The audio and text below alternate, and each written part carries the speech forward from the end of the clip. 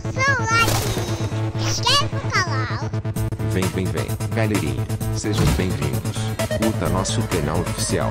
E antes de mais nada aproveite, ative o sininho de notificação para ficar por dentro de tudo que tá rolando na web. Deixe seu joinha e se inscreva agora mesmo. E sem perder tempo vamos para a notícia do dia. Atitude polêmica. Karina Bakshi termina relacionamento e decide engravidar sozinha. A atriz revelou em uma entrevista que estava há anos em um relacionamento e tinha um grande desejo de ser mãe. Porém, o ex-namorado não queria, pois já tinha filhos. Karina ficou no impasse e confessa que passou alguns anos se iludindo, achando que iria convencê-lo a ser pai. Mas ele já não queria ser pai. Ele já tinha filhos. Era um processo que teria de convencer e ele queria convencer eu a não ter.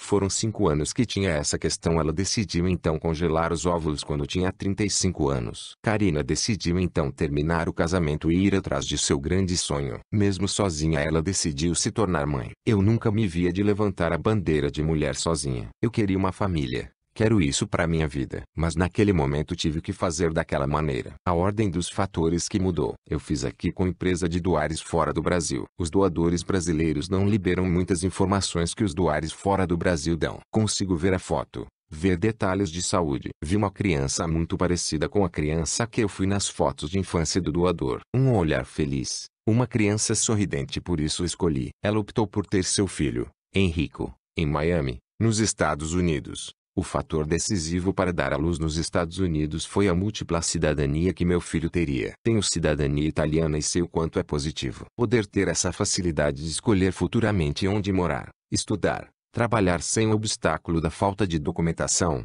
é um presente para ele. Não sabemos como estará o Brasil ou o mundo daqui a alguns anos nem onde será o melhor lugar para se viver. Então optei por deixar as portas abertas. Após optar por engravidar e ter um bebê sozinha, Karina finalmente encontrou o pai ideal para seu filho Henrico, o ex-jogador de futebol Amaury Nunes. Amaury não teve problemas em assumir Henrico sempre compartilha momentos divertidos com sua amada. Em julho ele pediu Karina em noivado e essa semana eles casaram, ou seja, já está oficializada a união. Será que ele vai ser um bom pai? Você acha que Karina fez o certo ao decidir fazer a inseminação artificial? Ou deveria fazer o filho de uma forma natural? Comente, compartilhe a postagem. E inscreva-se no canal Notícias de Agora para receber mais artigos. Deixe seu comentário. Obrigado.